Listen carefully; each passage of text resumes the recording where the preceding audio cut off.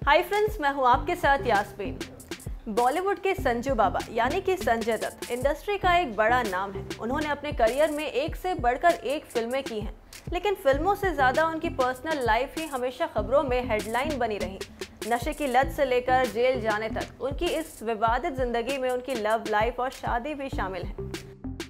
दोस्तों, इस बात से तो सभी वाकिफ हैं कि मान्या दत्त संजय की तीसरी पत्नी है। लेकिन जनाब, उनकी पहली पत्नी ऋचा शर्मा से उनका तलाक क्यों हुआ? ये बात शायद ही कोई जानता होगा।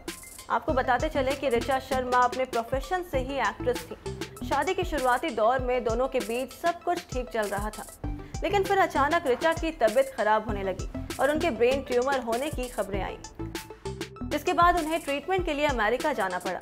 लेकिन किसे पता था कि उनके अमेरिका जाते ही उनकी ज़िंदगी में तबाही मच जाएगी?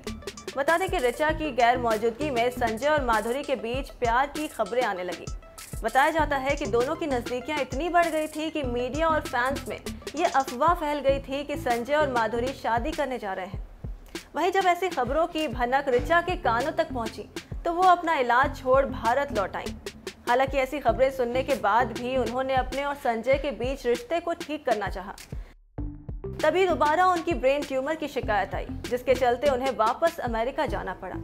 उसके बाद तो फिर दोनों का रिश्ता पूरी तरह से बदल चुका था और आखिर में दोनों का तलाक हो गया। मामला संजय तक ही सीमित नहीं रहा। विवाद तो तब बढ़ा जब संजय की साली इस मामले में कूद पड़ी।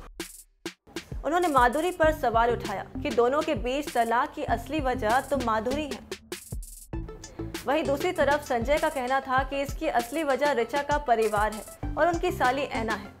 संजय का कहना था, दिक्कत मेरे और ऋचा के बीच थी, हम मिलकर देख लेते। अगर किसी को झुकना पड़ता तो हम झुक जाते। लेकिन ऐना हमारे बीच बोलने वाली कोई नहीं होती थी।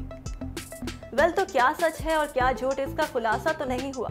लेकिन साल उन्नीस सौ सत्तानवे में बीमारी के चलते ऋचा ने दुनिया को अलविदा ज़रूर कह दिया और उनकी ज़िंदगी की किताब के पन्ने वहीं तक सीमित रह गए।